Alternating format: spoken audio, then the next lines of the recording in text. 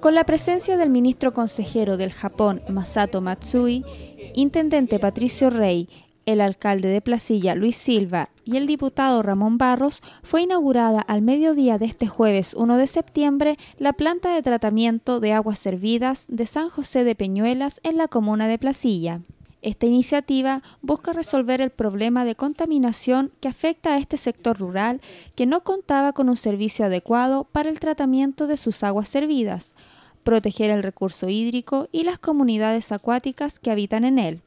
además de asegurar el cumplimiento de las normas ambientales que permita utilizar esta agua para regadío, ya que introduce el sistema wetland que permite que las aguas puedan posteriormente ser usadas para la agricultura. Gracias a la cooperación del gobierno de Japón, a través de sus programas de fomento, tenemos hoy día una planta de tratamiento que se está inaugurando en la, comuna, en la localidad de Peñuelas, en Placilla, también gracias a eh, la, iniciativa del alcalde de buscar recursos en todos los lugares donde sea posible, que hacen este proyecto que sea realidad, un proyecto muy ecológico, que usa biofiltros, lombrices para purificar el agua, al mismo tiempo de ciertos filtros UV que hacen un doble tratamiento para garantizar que las aguas que se vierten luego en los canales regadíos son eh, de un estándar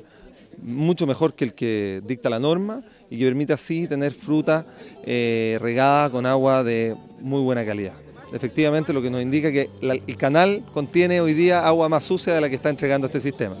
Por lo tanto, estamos trabajando en toda la región para lograr el nivel de pureza que aquí se obtiene en todas nuestras plantas de tratamiento. Creo que nosotros se llama APC, es como eh, apoyo, eh, asistencia para los comunitarios de, de seguridad humanas. Es nosotros anualmente 16 o 17 proyectos.